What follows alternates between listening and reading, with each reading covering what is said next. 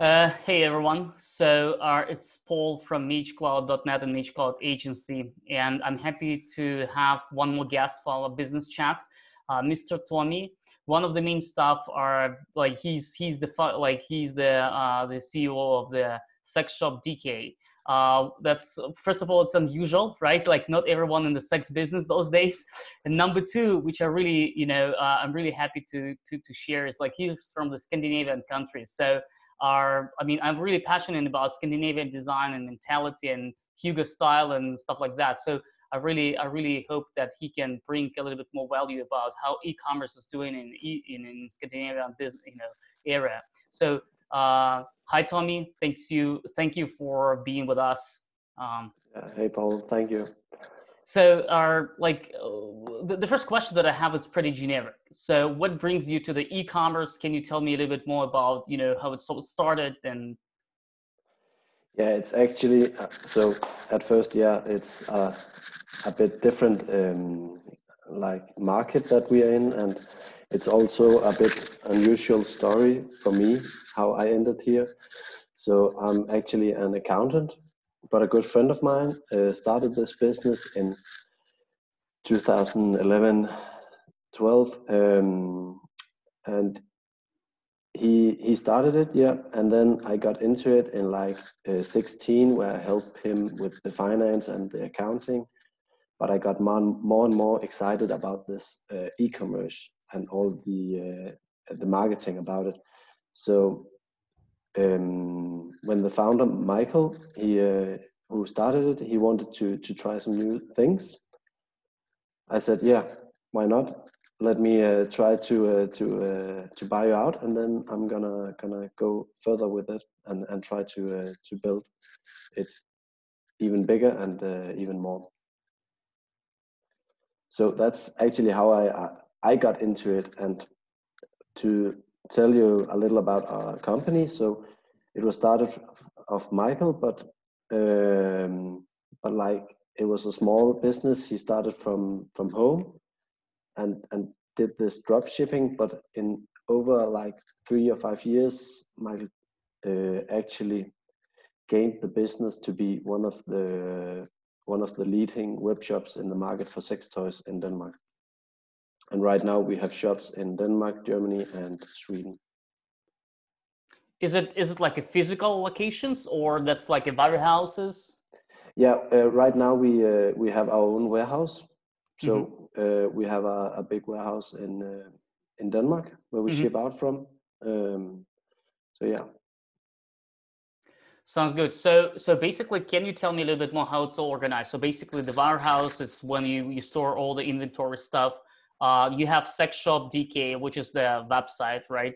or maybe you're running like a multiply different uh, websites yeah like uh, we actually um, do it like we we have uh, we have multiple um, stores mm-hmm. so and we run it yeah in uh, magento where we run like a store from for germany and one for sweden and one for denmark in mm-hmm. one magento installation so it's easy for us to like maintain the products and everything about the websites and the designs.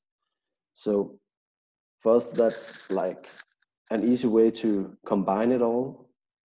Uh, and then we use our our warehouse mm-hmm. to ship all the orders out from. Uh, and actually, with this like setup we have made and have like uh, implemented with with you guys, we are actually um, able to ship out all orders that are made before 9 p.m. Mm-hmm. to be shipped out and delivered the next day. Uh, what do you use for this as a shipment provider? Who's who? How do you ship it? Yeah, we are we are using this um, the Scandinavian or, or Danish uh, shipment called PostNord. Mm-hmm. So they are uh, like the, the biggest one in, in Denmark, mm-hmm. um, and they can they can actually do it pretty fast and they they do a, a good job uh, do do you happen to sell also on the different marketplaces or this is all go through your website we actually right now we're actually only selling on our website so mm-hmm. because of the products that we sell we have like some uh, some kind of issues with the with the different market marketplaces. Mm-hmm. We've tried to to like um, use some of the marketplaces like Amazon and so on, but we always get hit by we, we cannot make any advertising and mm-hmm. it actually only like drop the price and uh, and it, it, it doesn't make any any good for us as mm-hmm, we can mm-hmm. see right now. Mm-hmm. Mm-hmm, mm-hmm. So then the question is, if your website, web store, it's like the main source of your business, are what's the primary channel for you to market that? Like, is it organic traffic? Is it like social media marketing, email? Can you share a little bit more about that? You know, what's the what's the channel right now for the sex shop business? How yeah. to get how? Yeah, I mean, it's yeah, and it's funny. It's always funny to talk about the sex toys because it's it's it's a bit different, but but it's still um, it's still a product that has to be sold, and and and we have to do it like all other like nice to have things. It's like an, a, a hobby article, like people going hunting and so on. That that's the markets that we are competing against. So, uh, but we don't. We are not allowed to like advertise on Facebook, and we're not allowed to to advertise on many uh, places. So our main focus is on um, Google Ads and and SEO right now, mm-hmm. and then we we do a lot of um, in the past couple of yeah it's almost the last year we have like focusing a lot on uh, the on the newsletters mm-hmm. because we can see that um, if we can maintain the customers there, then we can also use a little more um, to get the first buy, you know. So we can use a little more on Google Ads if we get them on the newsletter because we are we are maintaining the the customers at our place.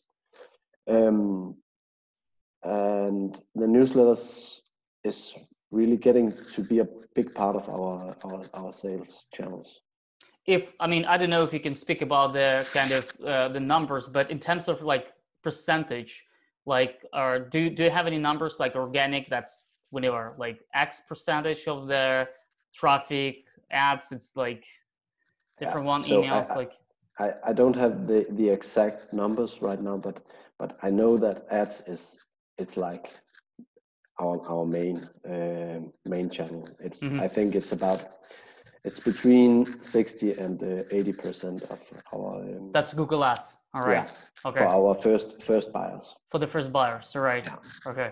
Okay. Um, and then uh, our newsletters are getting to be a bigger bigger part of that. So like it's pretty similar to the other you know customers that we uh, spoke in the past. Like it's pretty similar. Like acquis- the new account acquisition it's always coming from the google ads. So this is this is this really a, a, a stuff that's not surprise for me.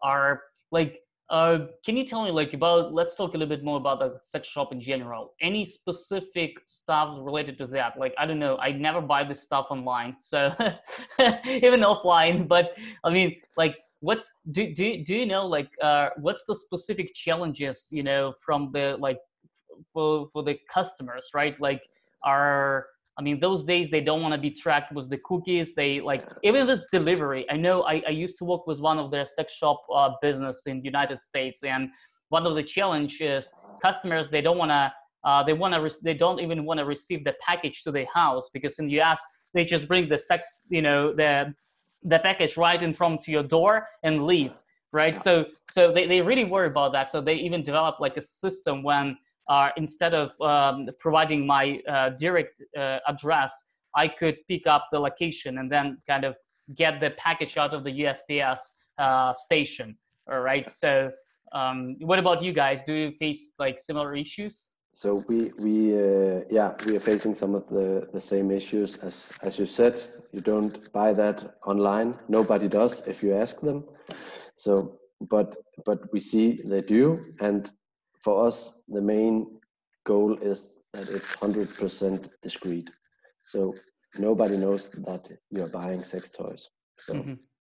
we are we're using a lot of effort to tell people that, and that's also one of our bullet points. So we always so, but it's not only the package, you know. right now it's also on your bank account you have to be sure okay there's nothing about sex toys there mm-hmm. Mm-hmm. so we have to make sure on all levels like bank account delivery uh, emails so oh.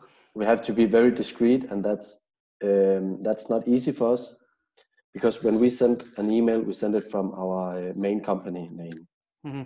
and people are, are thinking who are they i don't know i have i've not uh, ordered something from from this company but they have um, so that is that is actually one of uh, one of the big barriers for us uh, to to really work with uh, we can see uh, in the last five years uh, a lot of has happened on that place but still we still actually see someone they don't want to buy anything from us because we have the name sexshop.dk. Mm-hmm. They don't want to have that on their browser. Mm-hmm. Mm-hmm.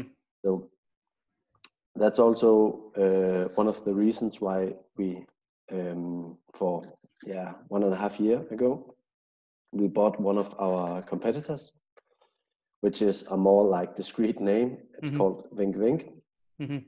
and we use that to be even more discreet. So mm-hmm.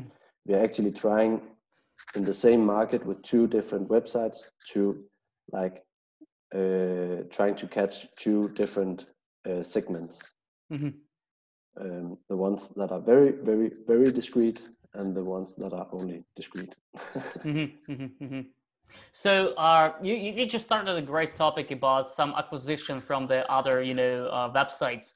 Mm. Um, I like out of my history, I don't really remember any of my customers to to acquire, you know, any competitors. Can you can you tell a little bit more about like how this process works, how you how you choose, you know, which website you wanna? Uh... Um, yeah. So to be honest, it was actually because this competitor uh, had other businesses, so he really wanted to get out of the market and, and mm-hmm. sell his uh, his web shop. So he came to us um, and our first like our first thought was just no way. We have enough. Um, but in other way we could see a lot of like um, we could get more effective and it could uh, bring us a lot of value that we bought this. At first it was like if we buy it nobody else does it. So we can remove a market uh, um, we can remove um, our competitor from the market. Mm-hmm.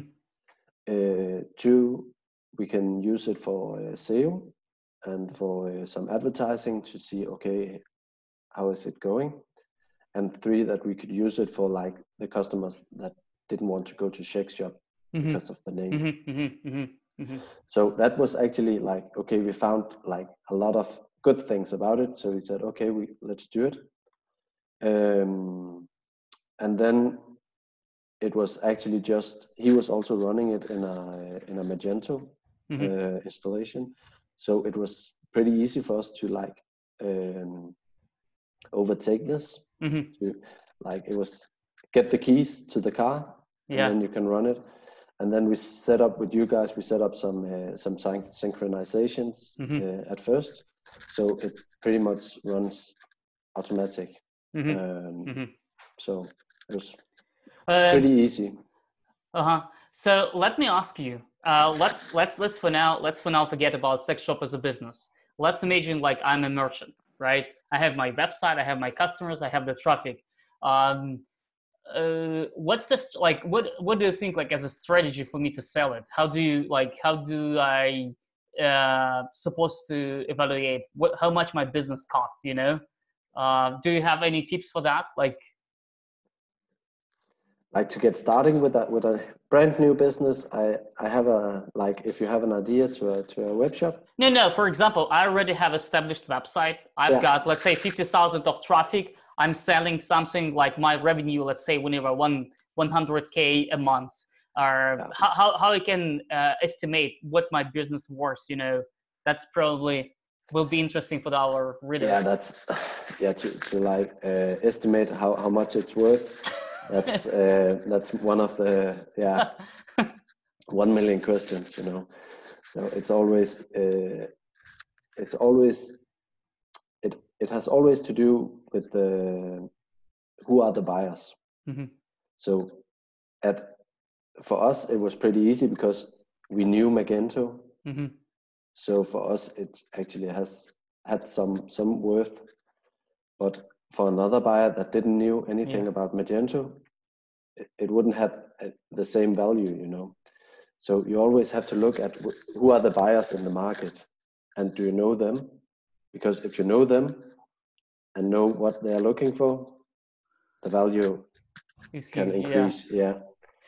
But but in terms in terms of like uh, let's let's say for example if I wanna if wanna if I wanna like uh, make a like acquisition of this certain agency let's say I know there is a like 1.2 multiplier of the annual revenue so you take like annual revenue multiply 1.2 and that's how much the company might cost. Yeah.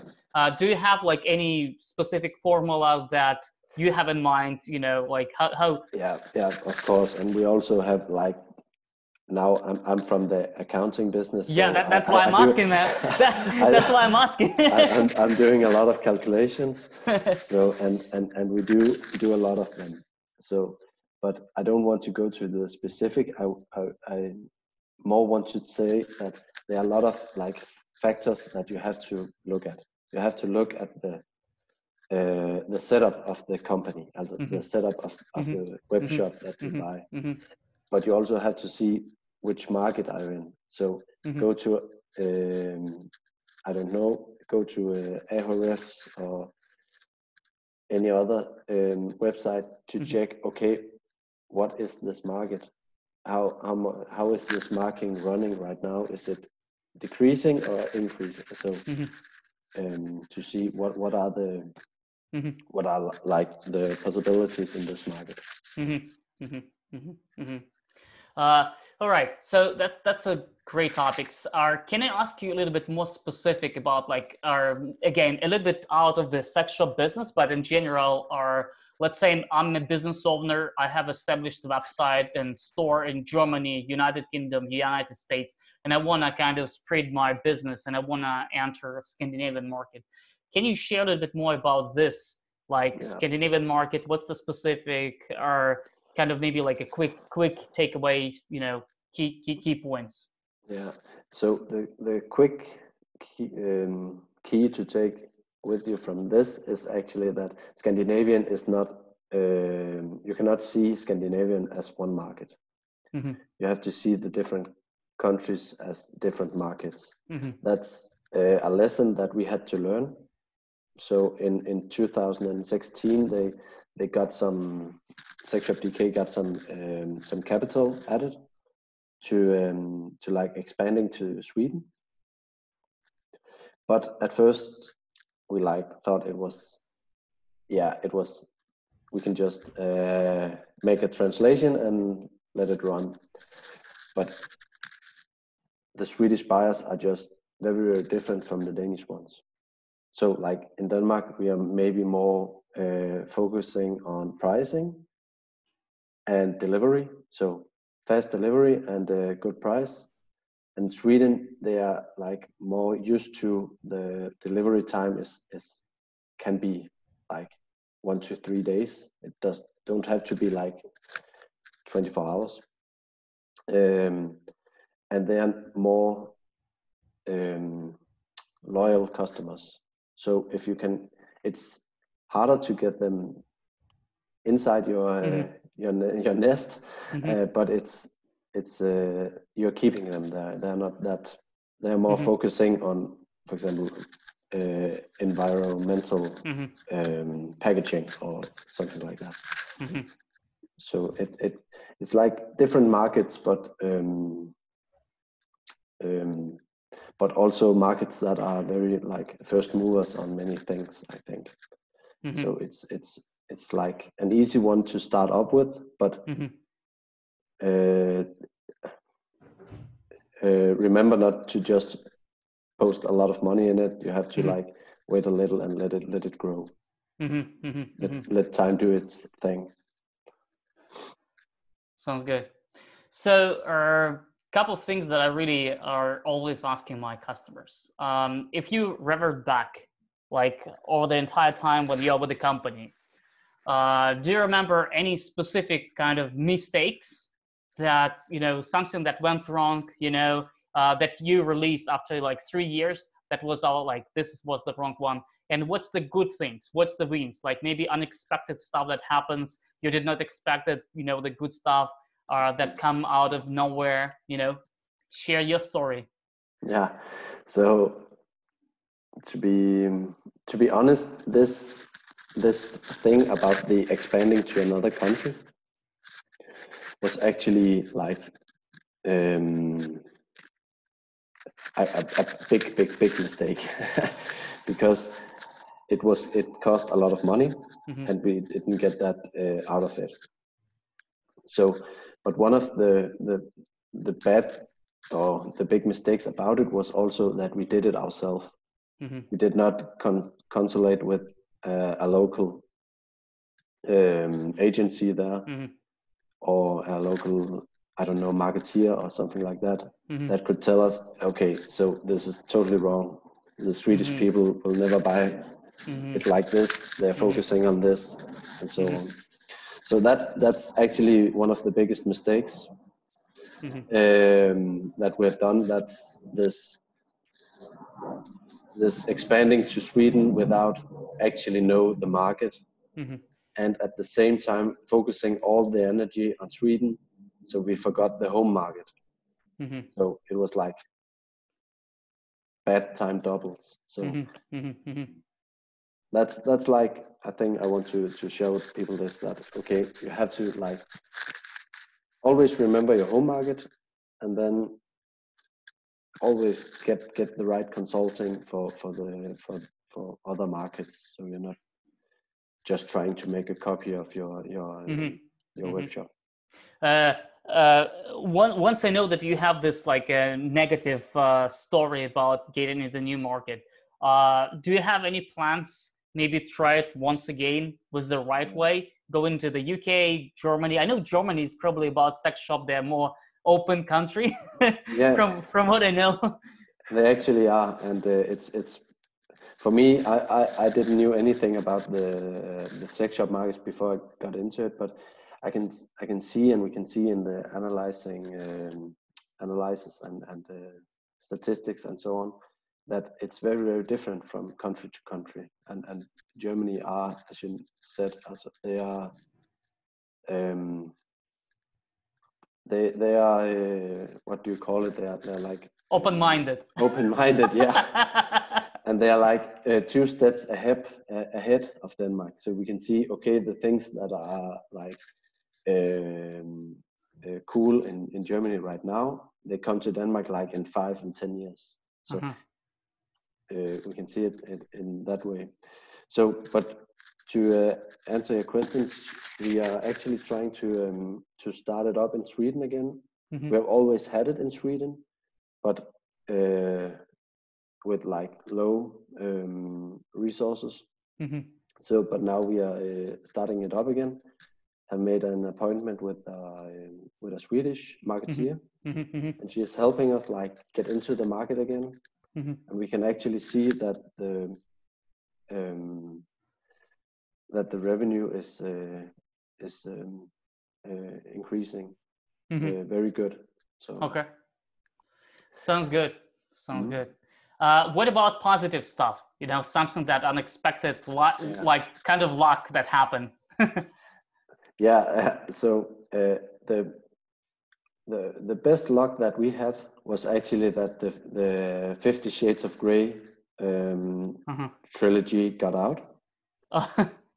the the market uh, actually uh, run up for uh, what do you say twenty to twenty five percent just because of these movies and uh, and books. So that was pretty lucky. um, so that that was really a, really a good thing for us. Um, but another thing that we did that was really lucky was like was using pop-ups for uh, newsletter signups. We have always thought of it like like this pop-ups are annoying. We don't want to do that for customers. customers want this discreet web shop where they can buy their stuff. Um, but actually, this pop-up helped us a lot. It was just like our newsletter um, list was just exploding. So in a couple of in, in one week we had a thousand new um, new leads mm-hmm. on our uh, newsletter. So now, now, now you you bring my interest here. So that was the pop up just that just come up when someone landed on the page. Yeah, we ha- we ha- we have done it uh, in two ways. We have done it so when they're on the page for like 11 seconds, mm-hmm. they get this pop up, get a free uh, product. Mm-hmm. If you sign up here, uh, you get a free product for your next order. Mm-hmm. And we made it like a teaser, so you have to it's like in the bottom you get like this small um, the small bar mm-hmm. where you can see okay click here and uh, and subscribe to our newsletter and get a free product for your um, for mm-hmm. next order mm-hmm. so mm-hmm. those were the two things that we did and we did it just we did it just when uh, this uh, coronavirus uh, came to denmark mm-hmm um, because then we had the time to do it mm-hmm. and we just wanted to like try it out but we should have done it for a long time ago because as said we could see we got every week we got like between 500 and 1000 more um, mm-hmm. newsletter um, mm-hmm. subscribes um, so that that's that's like, amazing man that's amazing yeah that's like it wasn't a prioritize from mm-hmm. our side because mm-hmm. we thought it was just no that's annoying for the for the people yeah but if you it, but if you if you use the pop-ups right mm-hmm. it can actually um, increase the value for the customers mm-hmm. Mm-hmm. mm-hmm. Yeah i like right after this call i will go to your website in incognito mode and i will test it by myself no listen that, that honestly, honestly, the, the reason why I ha- I really enjoy this type of conversation because that's a feedback from you, uh, mm. which is a good share points, you know, and then like I, I can just bring this value to some other, you know, uh, customers. Yeah. So th- this is really awesome. All right, so let's do this way. I mean, like, um, as a as a takeaway from this entire conversation that was really really useful for me, and I'm sure that will be useful for all of our readers. Uh, I mean, if if you would start and like entire the new e-commerce business online um, what will be or, or, maybe for someone who's starting it over like uh, hustling uh, what will be like three key points that you want to advise you know so i would actually say um, like you have to focus on selling the products so i'm as said, I'm I'm not from the e-commerce uh, like uh, uh, market uh, from always. I've just got into it for for a couple of years ago. So, but we were we did have too much uh, focus on like doing it right and do it um, like this button has to be this color and mm-hmm. it has to mm-hmm. be right there. So better to to get a, a good website running and get all the and like get all the, the bullet points and all the USPs out there. Tell the, the, the, the customers, okay, here you get this and this and this. Why do they have to buy at your place instead of the other place? So really have this focus on the selling uh, mm-hmm. part of it. And like I said, this newsletter, um, it's definitely definitely not dead. So newsletter keep them going more and more and more and focus on signups focus on signups because if you get them in you can like the when they buy second and third time it's very very cheap for you to get those buys mm-hmm. retention. Yeah. Retention is another key right? Yeah. That's awesome man. So what I mean, I think I think uh, at this point, uh, from my end, feedback also for our readers, guys, please subscribe to our newsletter. Because we will be doing some awesome video with the real guys who's really doing the business. You know, making making quite a bit of uh, expertise from the from the real shit. So subscribe to our MageCloud Agency newsletter. Go ahead, try Scandinavian market out. Visit Sex Shop DK if you need to, uh, and uh, we will be happy if if you will have any questions. Uh, you will be able, you can send uh, to Tommy via email contact, and he'll be able to advise. So uh, man, thank you so much for your time. I really appreciate it. That was really useful even for me, and I'm sure that's will be useful for the buyers as well. So stay safe, say hi to the family, uh, you know, and uh, enjoy enjoy your the rest of the week and the weekend. You too, Paul. Right. Thank you. Thank you. Bye.